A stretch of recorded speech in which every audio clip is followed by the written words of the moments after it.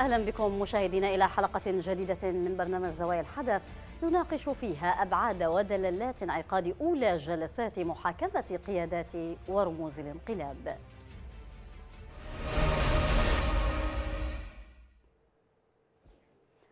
بدأت أولى جلسات المحاكمة العلنية لقادة الانقلاب الحوثي في المحكمة الجزائية المتخصصة في القضايا الجسيمة بالعاصمة المؤقتة عدن. وشملت المحاكمة 32 متهم على رأسهم زعيم الميليشيا عبد الملك الحوثي وقيادة الصف الأول في جماعته. ووجهت المحكمة للمتهمين ثمان تهم بينها التخابر وتعريض أمن وسلامة الجمهورية اليمنية للخطر والانقلاب على السلطات الشرعية بالإضافة إلى تهم تتعلق بالانتهاكات والاستيلاء على الأموال العامة.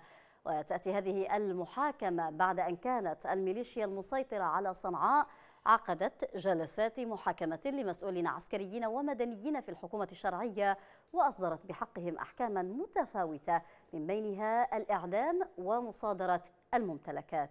في زوايا اليوم نناقش أبعاد هذه الخطوة ودلالاتها وما الذي يمكن أن ينتج عنها من قرارات حقيقية تكون أكثر من مجرد ردود فعل. نناقش ذلك وغيره مع ضيوف هذه الحلقة لكن بعد متابعة هذا التقرير. ماذا ما التسجيلات؟ بعد نصف شهر من إصدار المحكمة الجزائية المتخصصة الواقعة تحت سيطرة ميليشيا الحوثي الانقلابية بصنعاء أحكاما بإعدام 19 شخصا من قيادات الشرعية في مقدمتهم نائب الرئيس ووزير الدفاع بدأت في عدن أولى جلسات المحاكمة لقادة الانقلاب الحوثي. وبحسب وكالة سبأ للأنباء فإن المحكمة الجزائية المتخصصة في القضايا الجسيمة بدأت إجراءات المحاكمة العلنية ل 32 متهما على رأسهم زعيم الميليشيا عبد الملك الحوثي وقيادات الصف الأول من جماعته. ووجهت المحكمة للمتهمين ثمانية تهم بينها التخابر لصالح دولة معادية وتعريض أمن وسلامة الجمهورية اليمنية للخطر. والانقلاب على السلطة الشرعية الدستورية إضافة إلى تهم تتعلق بالانتهاكات والاستيلاء على الأموال العامة. وبحسب مراقبين فإن هذه الخطوة وإن جاءت متأخرة فإنها ذات أبعاد ودلالات تشير لأهمية تفعيل الجهاز القضائي خصوصا وأن الميليشيا تصرفت ولا تزال كممثل حصري عن المصالح الوطنية أمام شركاء دوليين. وللأسف فإن ثمة دولا وجهات دولية تتعاطى مع الحوثيين دون اعتبار لكونهم ميليشيا انقلابية. لكن التساؤل يبقى عما يمكن أن يترتب على هذه الإجراءات وما ستفضي إليه وما يمكن أن يبنى عليه أمام الهيئات الدولية التي تتعاطى مع الميليشيا بندية سياسية مقابل الشرعية المعترف بها دوليا خصوصا ما يتصل بالمرجعيات الثلاث. لنقاش أوسع ينضم إلينا من القاهرة وكيل وزارة العدل المحامي فيصل المجيدي. مرحبا بك معنا سيد فيصل. إذا ما دلالات هذه الخطوة؟ وبالتالي ما الذي يمكن أن يترتب عنها؟ أهلا وسهلا أحييكم والمشاهدين الكرام. الحقيقة أن هذه القضية من ناحية قانونية بحتة آه، هي في في الأساس تم التحضير لها من أجل إنفاذ القانون باعتبار أن آه، قائمة الدفعة الأولى من المتهمين وعددهم 32 قاموا بأفعال خرق الدستور والانقلاب المسلح على الجمهورية اليمنية والإضرار أيضا بالوطن وكذلك آه، من خلال قيامهم بإنشاء المتهم تحديدا الأول بإنشاء آه، جماعة مسلحة خلافا للقانون وأطلق عليها أنصار الله وهي مرتبطة بإيران إضافة طبعا إلى جرائم التخابر مع آه، دولة آه، أجنبية والاختطاف للناشطين و للأربعة تحديدا المحددين في قرار مجلس الأمن وتفجير المنازل وكثير من الجرائم التي تم ارتكابها إضافة إلى تعطيل العمل بالدستور هناك أحد عشر تهمة آه، وجهت لهؤلاء المتهمين وبالتالي نعم. الدلالات هنا محاولة إنفاذ القانون باعتبار أن ما تم آه، آه، القيام به من جرائم هو في الأساس اعتداء على النظام الجمهوري ورغبة بتغيير شكل الدولة ونظامها واستحداث النظام غريب على الدولة اليمنية من خلال استحضار النموذج آه، الإيراني وبالتالي القضية تنظر لها بهذه الطريقة أمام نعم. القضاء نعم. إذا إنفاذ القانون بالتالي لماذا جاءت هذه آه، المحاكمة بعد خمس سنوات ونصف من الانقلاب؟ هذا سؤال غاية في الأهمية الحقيقة أن الجوانب اللوجستية ومسألة تدمير المؤسسات بشكل ممنهج ومنظم من قبل ميليشيا الحوثي. وللأسف الشديد كان آه، أيضا هناك تركيز للمؤسسات في العاصمة آه، صنعاء. ومن ثم فإن إعادة بناء كثير من المؤسسات سواء الأمنية أو القضائية استدعت بعض هذا التأخير لوجود كثير من الصعوبات. أتفق تماما على أن هناك بالفعل تأخير في هذه الخطوة لكننا دائما ما نقول يعني أن أن تأتي متأخرا خيرا من ألا تأتي لكن يجب أن يفهم الجميع أن هناك أمور لوجستية متعلقة بالبحث عن الدليل، صحيح أن آه، الجرائم كما يقال أصبحت تتحدث عن نفسها من خلال كثير من الشواهد، لكن في نهاية الأمر نحن أمام آه، قضاء وأمام قانون والقاضي لا يعترف إلا بالوقائع المقدمة أمامه، لا يعترف إلا بالأدلة نعم. التي ستثبت ومن ثم يجب بالفعل القيام لكن هل نحن آه، حتى يعني هل نحن بحاجة لهذه الأدلة أليس ما تقوم به الميليشيا علنيا وأمام الجميع؟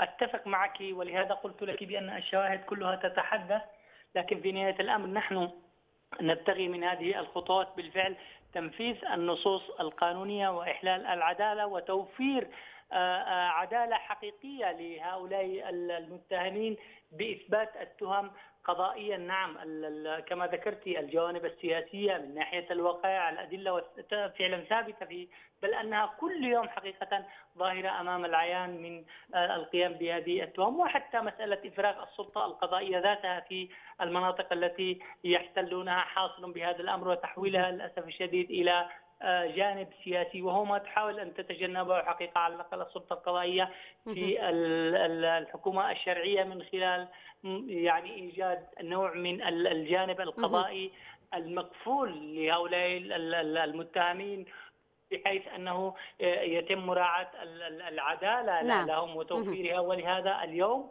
جرى يعني تأجيل الجلسة حتى يتم إعلانهم للحضور باتباع قانون الإجراءات الجزائية نعم لم فسيتم بكل تأكيد محاكمتهم كمتهمين وفارين من وجه العدالة نعم, نعم.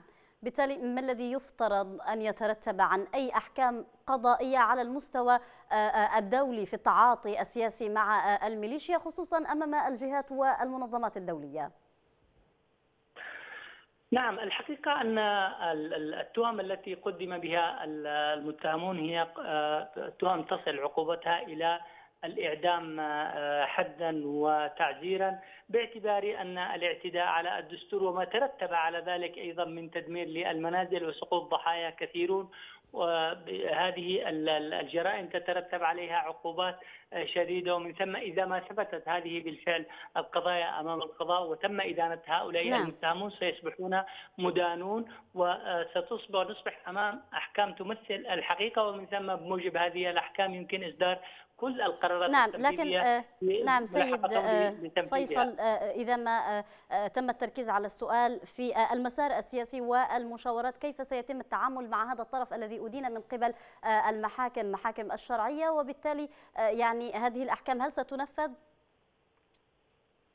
ولهذا أنا أجبت لك قلت لك بأنه سيتم حقيقة بعد أن تصبح هذه الأحكام عينا للحقيقة. بكل تأكيد ستقدم حتى أمام هناك في الأساس ثلاثة من هؤلاء المتهمون وهم عبد الملك الحوثي وعبد الخالق الحوثي وأبو علي حاكم هم في الأساس يخضعون لعقوبات دولية وبالإضافة إلى القضاء الداخلي آه، آه، حقيقة ستكون لهذه الأحكام آثار باعتبار أن كثير من الجرائم التي يتم محاكمتهم بها هي جرائم ضد الإنسانية وجرائم حرب وبالتالي مثل هذه الإدانات حقيقة يمكن أن تنعكس من خلالها إلى المطالبه التعاطي معها كجماعة إرهابية ومن ثم فإننا لن نجد في المستقبل إذا ما تم إدانتهم وأنا أتمسك هنا بالجوانب القضائية إذا ما تم إدانتهم بأنه لا يوجد حقيقة شريك باعتبارنا أمام آه، يعني عصابة مسلحة آه، قامت باختراق الدستور ومن ثم آه، يفترض حقيقة بعد ذلك أن يتم المطالبة بالتصنيف فيها كجماعة إرهابية مثلها مثل بقية الجماعات.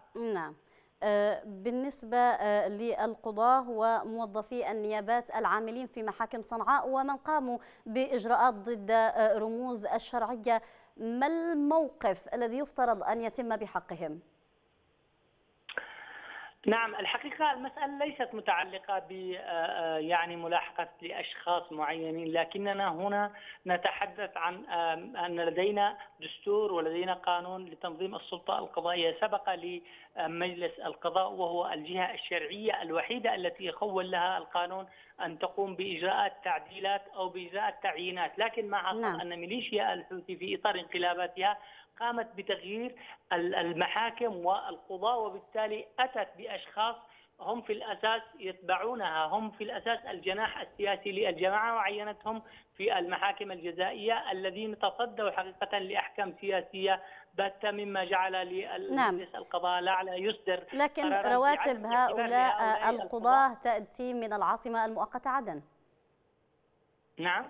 رواتب هؤلاء القضاة تأتي من العاصمة المؤقتة عدن.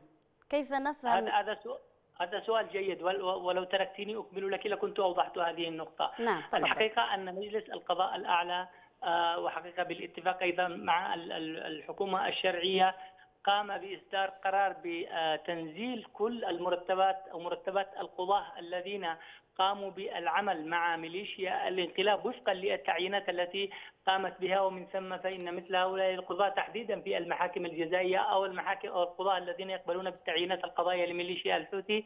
مجلس القضاء الأعلى أصدر قرارا بإنزال مرتباتهم وبالتالي هم لا يتقاضون شيئا بالإضافة طبعا إلى وزير العدل السلالي الانقلابي و كل القيادات التي آه، آه، في صنعاء والتي خرجت عن قانون السلطة القضائية وخرجت عن استقلال القضاء. نعم شكرا جزيلا لك فيصل المجيدي وكيل وزارة العدل وأيضا المحامي. كنت معنا من القاهرة. أرحب بضيفي أيضا علي هزازي رئيس دائرة حقوق الإنسان برئاسة الجمهورية من الرياض. مرحبا بك معنا سيد علي. برأيك لماذا تأخرت هذه الخطوة رغم المطالبات المبكرة والمتكررة للحكومة الشرعية لعمل هذه المحاكمات؟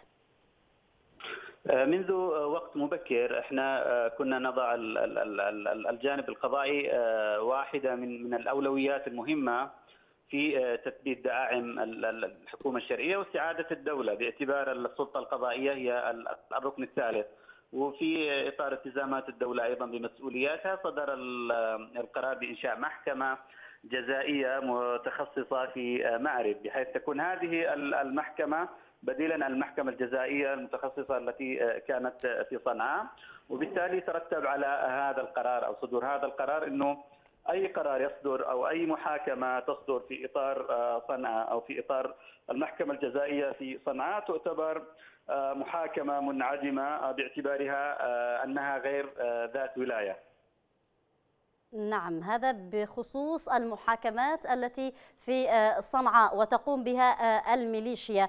آه، نعم كنت سألتك عن لماذا تأخرت هذه المحاكمة وبالتالي كيف سيتم النظر إلى وضع الانقلابيين فيما في المسار السياسي وبالتالي وجودهم في المشاورات والحديث عن تسوية سياسية؟ المسألة مسألة قضائية بحتة في إطار الجانب القانوني. لو أخذناها من بعدها القانوني نرى أنه آه، بحسب أيضا العريضة التي قدمت عريضة الاتهام باعتبار قيام المذكورين بعدد من من الأعمال من بينها أيضا الانقلاب على السلطة الشرعية محاكمتهم على هذا العمل الغير مشروع. وبالتالي النيابة العامة قدمت آه، اتهاماتها أو قدمت آه، دعواها أمام المحكمة الجزائية وفق هذه هذا هذه الجرائم المرتكبة من قبل آه، رموز آه، صنعاء وما يسمى رموز جماعة الحوثي والإنقلابيين. بالنسبة آه، لمن يتم القبض عليهم من أتباع الميليشيا من قبل قوات الجيش لما تقوم به الميليشيات من محاكمات للمدنيين ومسؤولي الدولة كيف يمكن الرد بالمثل لهؤلاء لمن وقعوا تحت قبضة آه، الجيش والحكومة الشرعية؟ المسألة ليست المقايضة أو المسألة ليست المعاملة آه، بالمثل في في مفهومها العام، لكن المسألة تخضع لمسألة قانونية وأنت كما أسلفت في بادئ الحديث أنه تأخرت كثيرا، كان آه، أولى بهذه المسألة أن تتم من أول عام في آه، بعد الانقلاب جماعة الحوثي أو من من من اللحظة الأولى لهذا الانقلاب. يا آه، سيد علي لو لو, لو تناوناها من ناحية قانونية نعم لكن هناك من يعذب ويعذب ويحبس وتنتهك حقوقه من مسؤولي الدولة وحتى من مدنيين داخل سجون الميليشيا. المسألة المسألة إنه هؤلاء الذين يقاتلوا مع جماعة الحوثي يعتبروا لا يعتبروا أسرى حرب ولا يعتبروا ولكن يعتبروا متمردين يعتبروا مخالفين للقانون وبالتالي يحق للقضاء في الطبيعي أن يقدمهم للمحاكمة على ما ارتكبوا سواء جرائم قتل سواء جرائم التمرد سواء مواجهة الدولة. هذه كلها قضايا قانونية حتى وإن تأخرت كثيرا نتمنى نعم تحريكها لينال المجرمين رموز الميليشيا الذين يتم القبض عليهم في الميدان.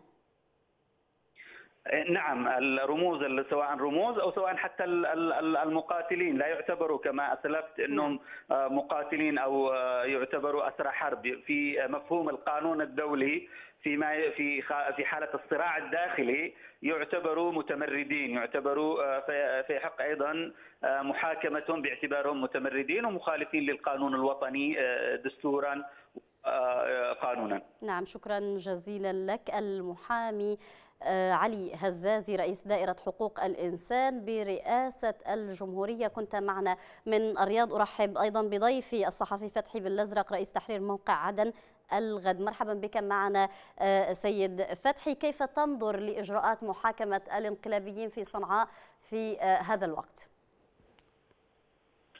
اولا مساء الخير لك والجميع مشاهدي قناتكم الكريمة. وضيوفكم الاكارم. آه، للأمانة آه، هذه المحاكمة آه، هي إلى حد كبير هي مدعاة للسخرية خصوصا أنها تأتي في مدينة تغيب فيها الدولة تغيب فيها سلطات الحكومة الشرعية يغيب فيها الرئيس ويغيب فيها رئيس الوزراء وتغيب فيها كل كل سلطات الدولة الشرعية ومن ثم نفاجأ هكذا دون ما مقدمات بأن المحكمة الجزائية تعقد جلسة لمحاكمة عبد الملك الحوثي وقيادات آه، آه، جماعة الحوثي. آه، شخصيا كنت أتمنى أو أرى أنه من الواجب أن تكون أولا هو تأسيس الدولة حضور الدولة في عدن حضور أجهزة الدولة حضور الرئيس حضور الشرعية ومن ثم يمكن لأي محكمة من عدن أن تتحدث عن محاكمة المنقلبين على الدولة. لكن آه، في مدينة كعدن آه، لا وجود آه، للحكومة فيها لا وجود للشرعية ومن ثم نفاجأ بمحاكمة كهذه للأمانة أمر غريب وهي من الأمور الغريبة التي تحدث نعم. في اليمن كان معنا لا تخضع لسيطرة نعم. الرئيس هذه ولا لسيطرة الحكومة الشرعية ومن ثم نرى أن هناك محاكمة شرعية لقيادة الانقلاب في صنعاء نعم. أمر من أغرب ما يكون والله نعم. آه، أن تأتي متأخرا خير من أن تأتي كما ذكر آه، المحامي فيصل المجيدي. آه، قال أن يعني أن تأتي متأخرا خير من أن لا تأتي إلى أي مدى يمكن النظر إلى إجراءات المحاكمة وإلى أنها ضرورية الآن للانقلابيين. المحاكمة جاءت بعد خمس سنوات من الحرب تخيلي أن محاكمة كهذه آه، تأتي بعد خمس سنوات كاملة كان يفترض آه، لو تمت هذه المحاكمة كان يجب أن تتم خلال الأشهر الأولى آه، من الانقلاب لكي يكون هناك توصيف قانوني حقيقي نعم. من قبل أجهزة الدولة من قبل المؤسسات القضائية للانقلاب الحوثي لقيادة الانقلاب من ثم على ضوء هذه المحاكمة على ضوء هذا التوصيف الذي أو الوصف أو, أو آه، ما سينتج عن المحاكمة يمكن آه، لاحقا آه، اضفاء الصفة الشرعية أو القانونية لمنفذي الانقلاب. لكن بقاء الوضع على ما هو عليه خمس سنوات من ثم فجأة نرى هناك محاكمة. عامة عامة بغض النظر عن كل الملاحظات الأولى التي أوردناها نحن بحاجة فعلا في اليمن أن تكون هناك محاكمة يقوم بها القضاء لقيادة الانقلاب ومن ثم توثيق حكم قضائي ضد جماعة دمرت البلاد، دمرت العباد، أهلكت الحرث والنسل، دمرت المجتمع اليمني، المجتمع اليمني حتى اليوم طوال خمس سنوات يدفع ضريبة مؤلمة بسبب الانتهاك الحوثي لكل الأعراف لكل القوانين الانقلاب على الدولة، بالتالي بغض النظر عن الملاحظات نحن فعلا بحاجة في ختام الأمر إلى صدور حكم قضائي يوضح حقيقة هذا الانقلاب، يوضح حجم الجرائم التي ارتكبتها ميليشيا الحوثي بحق اليمنيين كافة. ومن ثم يجب أن لا يتوقف الأمر عند المحكمة اليمنية لكن يجب أن يصعد الأمر إلى محاكم الجنايات الدولية إلى المحاكم الدولية بإشراف أممي بتوجيه بالتعزيز ملفات قانونية حول الانتهاكات حول الأضرار التي تسببت بها هذه الأشياء ومن ثم رفعها إلى المجتمع الدولي.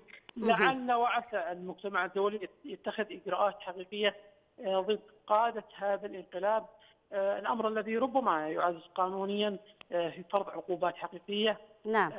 تمس هذه الجماعة وتحد من سيطرتها. نعم، كنت قد تحدثت أن هذه المحاكمات مدعاة للسخرية، هل تعتقد أن الشرعيه في يوم ما قد تقوم بنفس الخطوة تجاه الانقلابيين في عدن؟ حقيقة طبعا أنا أتحدث من عدن ومثل هذا السؤال ربما يكون صعب للغاية لكن عامة نحن سنتحدث بشكل أوسع ونقول إنه كل من يخرج عن إطار الدولة اليمنية كل من يكتسب يكتسب صفة ميليشيا سواء كان الحوثي أو غير الحوثي هو أساسا لن لن يفلح نعم. لن يثمر أربع سنوات أو خمس سنوات من الحرب نعم اليمنيين بشكل عام فتحي نتفهم وضعك الحالي واعتذر عن مقاطعتك وأشكرك جزيل الشكر فتحي بالأزرق رئيس تحرير موقع عدن الغد. كنت معنا من عدن. أرحب بضيفي أيضا المحامي عبد الرحمن برمان رئيس المركز الأمريكي للعدالة ينضم إلينا من نيويورك. مرحبا بك معنا سيد عبد الرحمن. اذا من منظور قانوني كيف يتم النظر لهذه المحاكمة بعد خمس سنوات من الانقلاب؟ مساء الخير. حقيقة المحاكمة جاءت متأخرة بشكل كبير جدا. الجرائم التي ارتكبت هي جرائم جسيمة من الجرائم ذات الخطر العام التي تشكل تهديد على المجتمع وأن المجتمع تشكل تبويض للدولة وانتهاك لسيادتها وتدمير لكل مقومات الدولة. فكان من هذه الجرائم من الجرائم الجسيمة ذات الخطر العام التي تبادر فيها النيابة العامة وتنظر فيها المحاكم بصورة عاجلة. لكن للأسف الشديد ظلت هذه القضية غائبة عن الإطار القضائي وظل يتعامل معها الحكومة الشرعية تتعامل معها إما بالتعامل السياسي بالمفاوضات أو التعامل العسكري في الميادين. وظل القضاء والقانون والدستور مغيب حتى فوجئنا يوم أمس أو اليوم تقريبا فارق الوقت عندنا. فوجئنا بالمحاكمة يعني هكذا دون أي مقدمات. هناك أيضا إشكالية قانونية لا أدري هل مستشار القضاء له علاقة.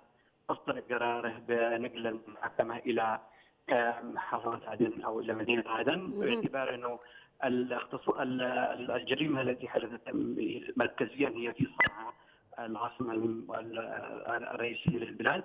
وأيضا اغلبيه الانقلاب موجودين هناك فكانت المحكمه المختصه هي محكمه محاكم صنعاء. وقد نقل مجلس القضاء الاعلى اختصاصات المحكمة الجزائية المتخصصه في صنعاء إلى المحكمة الجزائية المتخصصة في مادب وأيضا يحب مجلس القضاء الاعلى أن ينقل أي قضية في حال ما إذا رأى انه هناك عدم إمكانية تحقيقها في أي مكان تحقيق العدالة في أي مكان أن ينقلها إلى المحافظه لا أدري هل سيد. هذه الاجراءات لكن من من بشكل عام بالتالي. الخطوة جاءت متأخرة بشكل كبير. بالتالي هل نحن بحاجة لمثل هذه الإجراءات القانونية تتخذ بحق الانقلابيين داخل عدن؟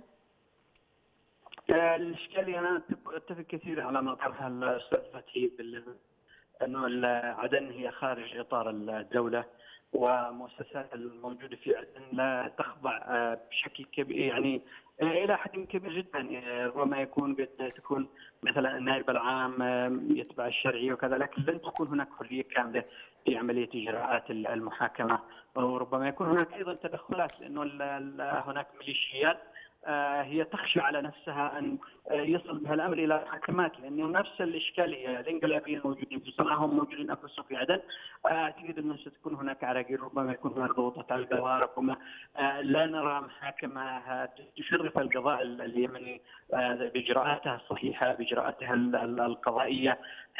يعني يستمع فيها إلى كل إلى الشهود إلى كافه الأدلة تكون فيها شفافية كاملة يسمح فيها الوسائل الإعلام تغطيتها. نحن هذا الذي يعني نريد يكون هناك أيضا ممثلين قانونيين تعينهم المحكمة تمثيل حقيقي يمثل المتهمين حتى تكون كافة الإجراءات صحيحة. آه، هناك العديد أو الألاف من المسؤولين والمدنيين يقبعون داخل سجون آه، الميليشيا ويتم آه، بحقهم انتهاكات جسيمة بالتالي من يتم القبض عليه أو يقع تحت قبضة الجيش الوطني والحكومة الشرعية كيف ستتم التعامل معه وهل ستتم محاكمته بنفس الطريقة التي يحاكم بها مسؤولو الدولة الذين يقعون في سجون الميليشيا؟ يعني في قضية المعتقلين هي قضية إنسانية آه، قانونية حقوقية آه، نسعى دوما في آه، ائتلافات أطلقنا حملة عالمية من أجل إطلاق المعتقلين خصوصا في هذا الوقت الحرج الذي يهدد فيروس كورونا السجون نعم. ونحن نتمنى أن أن تستجيب كل الأطراف وتطلق كافه المعتقلين المتواجدين لها لكن من الناحية القانونية كلما اعضاء الميليشيات التي تم القبض عليهم هم يعتبروا عصابة مسلحة آه، خرجت عن الدولة وعن سيطرة الدولة وأيضا بعضهم هم ينتمون إلى السلك العسكري الكثير منهم ينتمون إلى السلك العسكري يحاكموا وفقا للاجراءات العسكريه إجراءات عاجلة ويعني ارتكبهم جرائم جسيمة تصل عقوبتها إلى الإعدام. نعم. إذا ما تحدثنا آه، عن آه، آه، الأدلة اللوجستية المطلوبة المطلوب توافرها لدى المحكمة لإنفاذ هذه الأحكام. كان قد أشار إليها المحامي فيصل المجيدي. ما هي هذه الأدلة؟ وألا يكفي ما حصل على الساحة اليمنية من أدلة وإثبات لتورط هذه الجماعة؟ وبالتالي استحقاق ما سيخرج أو ما سينتج عن هذه المحاكمات من أحكام؟ هو طبقا للقوانين سواء كان القانون اليمني كل قوانين العالم إن القاضي لا يقضي بعلمه. العلم حتى لو رأى يعني لو عرف الجريمة وتأكد منها خارج آه، إطار المحكمة هو لا يقضي بها، يجب أن يستمع إلى الأدلة التي قالت عن المحكمة ويستمع إلى كل الإجراءات وكانه نعم. الشخص الاتي من مكان غريب لا يعرف من الذي حدث حتى تكون هناك إجراءات عادلة، لا يقضي القاضي آه، بما يعلم به وما عليه وسائل الإعلام، يجب أن يكون هناك إجراءات قضائيه عادله حتى نسعى إلى تأسيس الدولة المدنية التي يكون فيها قضاء مستقل نعم. وقضاء نزيل وقضاء يتخذ كافة الإجراءات الصحيحة نعم نكتفي بهذا القدر. شكرا آه، جزيلا لك عبد المحامي عبد الرحمن برمان كنت معنا من نيويورك رئيس المركز الأمريكي للعدالة. كما أشكر ضيفي الصحفي فتحي بالازرق رئيس تحرير موقع عدن الغد. كان معنا من عدن أيضا من القاهرة وكيل وزارة العدل المحامي فيصل المجيدي. وأيضا ضيفنا من الرياض رئيس دائرة حقوق الإنسان برئاسة الجمهورية المحامي علي الهزازي. شكرا لكم متابعين على حسن المتابعة. تحياتي وتحيات معد هذه الحلقة وديع عطا كما هي لكم من الزملاء في الكنترول. في أمان الله.